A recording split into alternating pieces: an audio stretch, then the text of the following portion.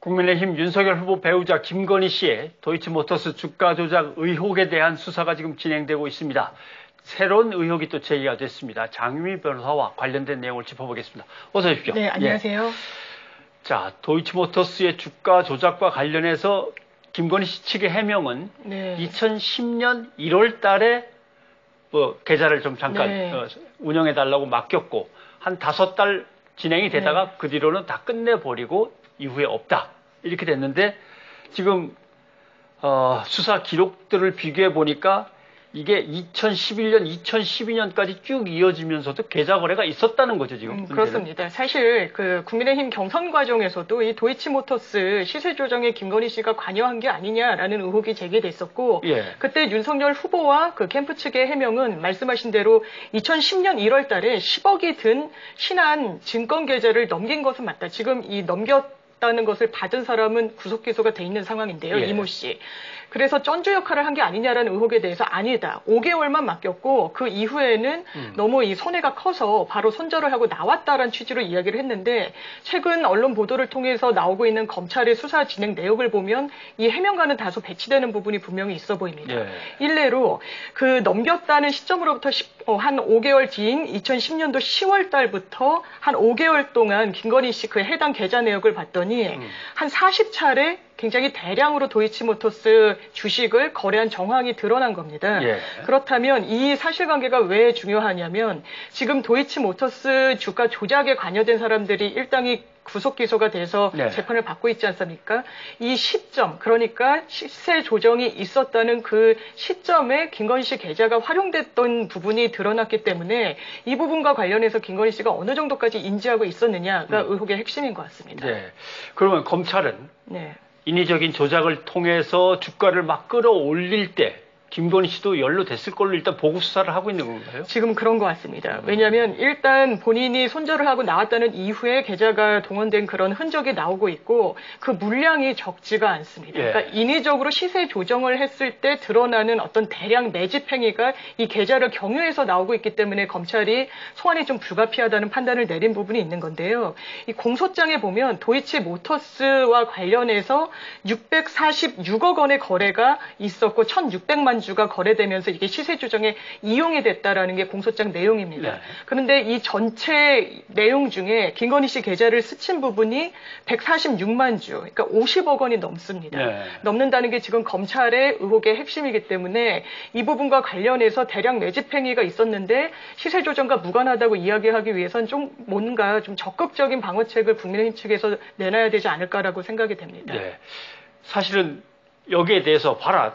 거래된 내역이 전혀 없지 않냐라고 계좌를 공개를 했었는데 그게 신한은행 거였습니다. 네. 그런데 이 기간 동안에 이런저런 거래가 있었던 거는 신한 말고 다른 이제 증권사의 네. 계좌가 이용됐다라고 하는 걸 확인해 봐야 되는 문제군요. 음, 그렇습니다. 지금 검찰이 들여다보고 있는 부분도 이 부분인데 음. 1차로는 그 신한 증권의 계좌가 이용된 건 맞는 것 같습니다. 대량으로 네. 매입하는 과정 중에서 이 계좌가 활용이 됐다. 그런데 2차적으로는 김건희 씨 계좌 또 거래를 하는데 많이 활용됐다는 정황을 지금 검찰이 포착한 걸로 보이고 또 이 수상하다고 지목되는 대목 중에 하나는 자기 거래 그러니까 김건희 씨가 김건희 씨 자기와 관련해서 계좌 거래를 했다든지 예. 그리고 모자 거래 그러니까 음. 지금 장모 최모 씨와 관련해서 본인의 모친이죠 거래를 했다는 그 정황을 검찰이 확보를 한 상황으로 보입니다 그렇기 때문에 이런 모자 거래 자기 거래는 아주 대표적으로 시세 조정 행위를 할 때좀 음. 동원되는 수법이기 때문에 이 부분에 대해서 검찰이 검찰이 들여다보고 있는 것 같습니다.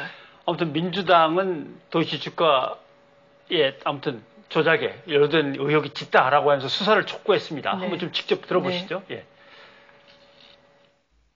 예. 어, 윤석열, 김건희 부부의 새빨간 거짓말로 또다시 예, 국민들이 예, 분노하고 있습니다. 어, 도이치모터스 주가 조작 어, 범행이 이루어지던 기간에 김건희 씨의 또 다른 증권 계좌들이 예, 동원된 사실이 취재 결과 아, 드러난 것입니다. 아, 이제 더는 어, 진실이 숨을 곳이 없습니다. 결자 해지의 시간만이 남았습니다.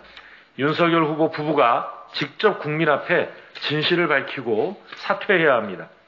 검찰도 지체 없이 성역 없는 수사에 나서줄 것을 강력히 촉구합니다. 네. 여기에 대해서 이제 국민의 힘은 네.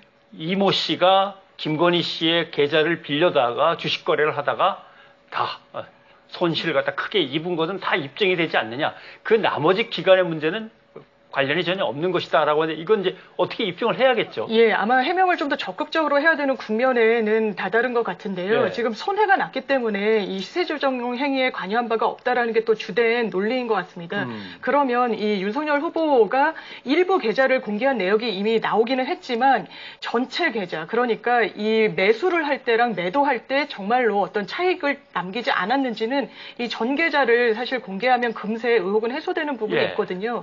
그래서 이 부분을 계좌를 오픈할 것인지 안 할 것인지도 한번 지켜봐야 될 대목인 것 같고 또 지금 공소장에 아예 김건희 씨 이름이 빠졌다라고 이야기하는 것도 하나의 논리 중에 하나인데 예. 사실 이 부분은 여러 이 관계자들이 기소가 될 때까지 김건희 씨가 소환 조사에 좀 응하지 않았던 음. 그런 측면도 작용한 부분이 분명히 있어 보여서 아마 소환 일정을 계속해서 검찰은 조율하려고 할 네. 겁니다.